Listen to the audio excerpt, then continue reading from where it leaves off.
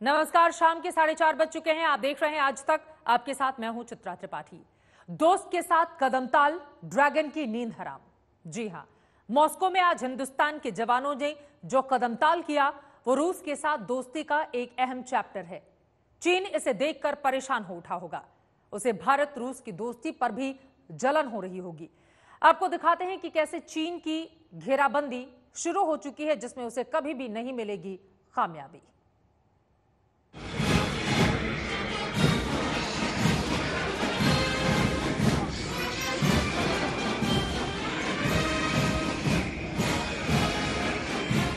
देख ले चीन, हिंदुस्तान का दम। रूस में भारत का स्वागत देख ले। मॉस्को की ज़मीन पर हिंदुस्तान की शान देख ले। भारतीय सेना की ये धमक देख ले। रूसी फाइटर प्लेन आसमान से सलामी दे रहे थे तो भारतीय जवान भी अपने हौसले का परिचय दे रहे थे। मॉस्को में भारतीय जवानों के कदमताल का जोश चीन ने महसूस किया होगा।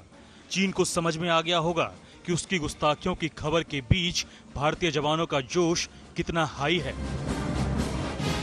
मौका था नाजी जर्मनी पर सोवियत संघ की जीत के पिचहत्तरवें विक्ट्री डे परेड का, जहाँ भारतीय सेना के तीनों अंगों के पिचहत्तर सदस्यीय दल ने हिस्सा लिया और दुनिया को उस विश्व युद्ध में भारतीय जवानों की शहादत को सलाम किया।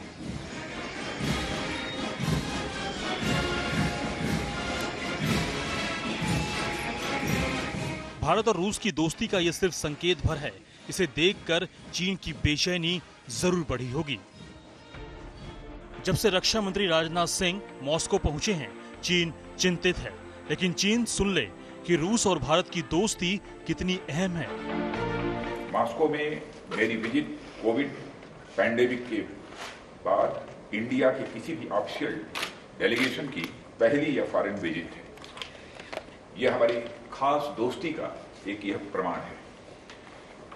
पैंडेमिक की सभी कठिनाइयों के बाद बावजूद हमारे बाइलेटरल रिलेशंस डिफरेंट लेवल पर बने हुए हैं। दोस्ती की अहमियत समझते हुए रूस के डिप्टी पीएम यूरी बोरिसोव खुद होटल पहुँचे और राजनाथ सिंह से मिले। अन्य दूसरे नेताओं से भी मुलाकात हुई, जिसमें रूस ने भारत को S four hundred missile defence system जल्द देने का भरोसा दिया है। दोनों ही देशों के बीच ये पाँच बिलियन डॉलर का सौदा अक्टूबर 2018 में हुआ था। पिछले साल ही भारत चालीस हज़ार करोड़ का भुगतान कर चुका है। सौदे के तहत रूस भारत को पाँच S four missile defence system देगा। Sukhoi thirty M K I, MiG twenty nine, T ninety tank के पार्ट्स की जल्द सप्लाई पर भी ज़ोर है। हमारी डिस्कशन काफ़ी पॉजिटिव और प्रोडक्टिव रही है। मुझे भरोसा दिलाया गया है कि ऑन गोइंग कॉन्ट्रैक्ट को मेंटेन किया जाएगा और न केवल मेंटेन किया जाएगा, बल्कि उन, उनके और तेज़ी से, उनको और तेज़ी से कम समय में पूरा भी किया जाएगा। यह भी भरोसा दिलाया गया है। चीन के रक्षा मंत्री वेई फेंगहे भी मॉस्को में हैं। इन सब के बीच चीनी प्रोपगेंडा को उछालने वाले ग्लोबल टाइम्स ने अफवाह फैला दी कि भारत और चीन के रक्षा मंत्री आपस में मुलाकात करेंगे। लेकिन बिना वक्त गवाए भारत ने उन दावों को खारिज कर दिया। साफ़ हो गया कि राजनाथ सिंह की चीनी रक्षा मंत्री से फ़िलहाल कोई मुलाकात नहीं होगी। रक्षा मंत्री के मॉस्को दौरे पर ही चीन ने एक और प्रोपगेंडा चला। उसने अपील की कि इस नाजुक हालत में रूस भारत से हथियारों की डील नहीं करे, लेकिन वो भूल गया कि दोनों देशों की दोस्ती धोखेबाजी की नहीं, विश्वास की बुनियाद पर मज़बूत हुई है। रूस ने चीन को ठेंगा दिखा दिया।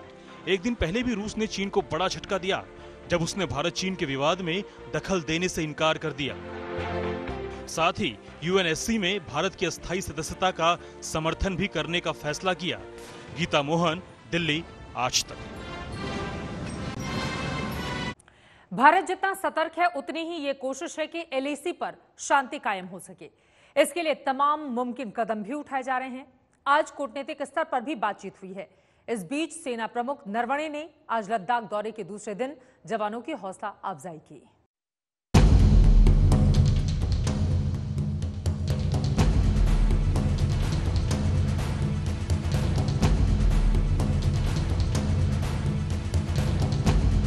अभी तो चीन ने सिर्फ़ कबूला है कि वो अपने जवानों को पीछे हटाएगा।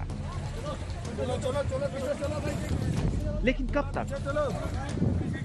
लद्दाख में जो ताज़ा हालात हैं, इस बात की ओर इशारा कर रहे हैं कि अभी उस पर अमल होना बाकी है। 22 जून की बातचीत के बाद भी चीन ने अभी ऐसी कोई पहल शुरू नहीं की है।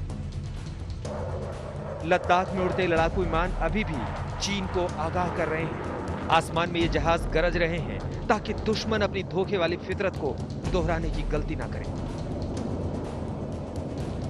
शांति की पहल के बीच सेना मुस्तैद है। खुद आर्मी चीफ पूर्वी लद्दाख में जवानों की हौसला अफजाई कर रहे हैं। सेना प्रमुख आज अपने दौरे के दूसरे दिन कई फॉरवर्ड पोस्ट पर पहुँचे।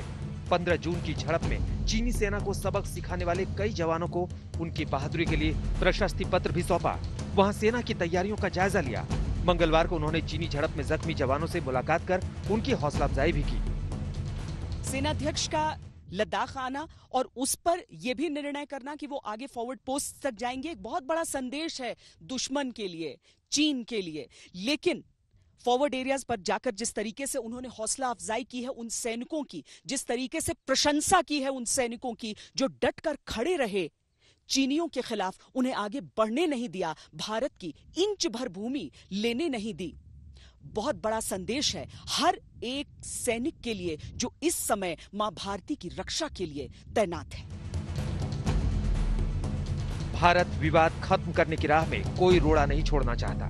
उसी पहल का हिस्सा है कि एलएसी पर जवानों की मुस्तैदी बनी है तो दूसरी ओर कोर कमांडर स्तर की बातचीत के बाद अब कूटनीतिक पहल भी तेज हो गई है। दोनों देशों में आज ज्वाइंट सेक्रेटरी स्तर की वर्चुअल बैठक हुई है। इसमें भारत की ओर से विदेश मंत्रालय के ज्वाइंट सेक्रेटरी नवीन श्रीवास्तव ने हिस्सा लिया। तो चीन विदेश मंत्रालय के department of boundary and ocean affairs के डीजी शामिल हुए।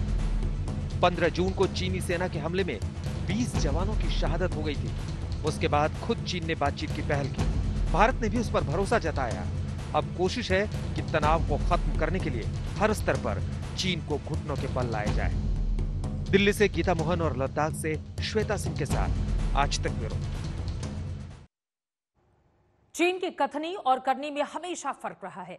इतिहास गवा रहा है कि वो अपने वादों पर कभी टिका नहीं। ऐसे में हाल के विवाद को लेकर भारत का उस पर भरोसा करना काफ़ी मुश्किल है। शक की गुंजाइश लगातार बनी हुई है।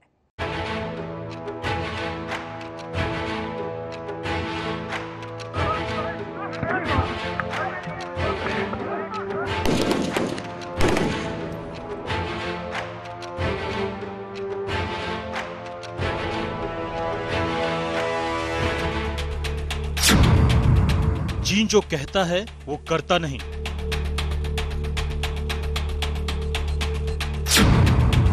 जो बताता है, वो झूठ का पुलिंदा होता है।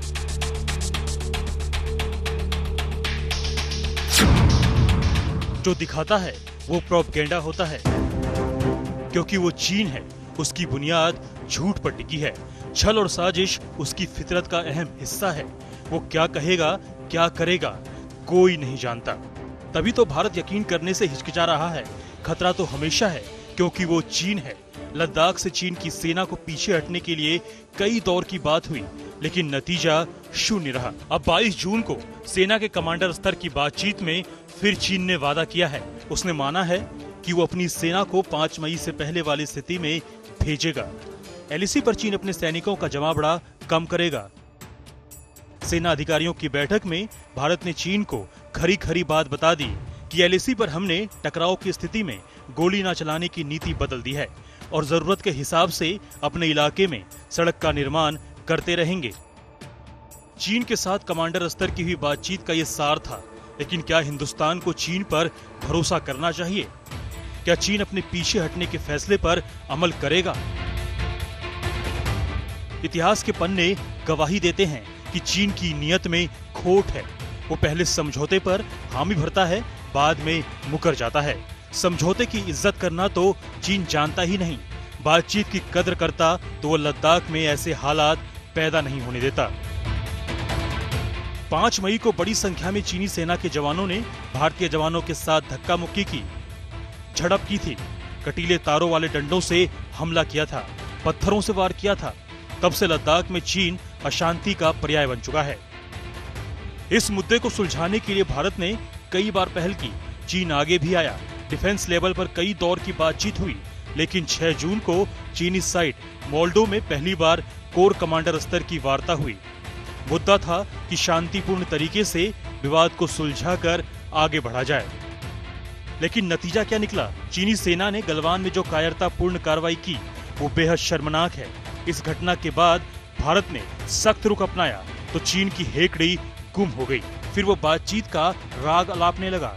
आखिरकार भारत ने भरोसा दिखाया और मोल्डो में 22 जून को करीब 11 घंटे की मैराथन बैठक में चीन ने अपनी सेना को वापस करने का भरोसा दिया।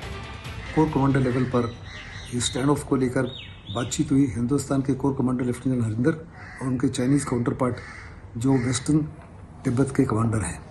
ये बातचीत 11 घंटे चली। इस बातचीत के दौरान में हिंदुस्तान ने साफ़ तौर पर कहा कि चाइना को पीछे हटना पड़ेगा उन जगहों पर जहाँ पे जहाँ से वो अप्रैल में आया था। चीन की नीयत हमेशा शक के घेरे में रही है। बातचीत की आड़ में वो धोखा देता रहा है। ऐसे में यकीन करना बेहद मुश्किल है। लेकिन शांति का पक्षधर रहा भारत फिर से भरोसा कर रहा है ताकि विवाद को खत्म किया जा सके। अभिषेक भल्ला के साथ मंजीत सिंह नेगी, दिल्ली, आज तक।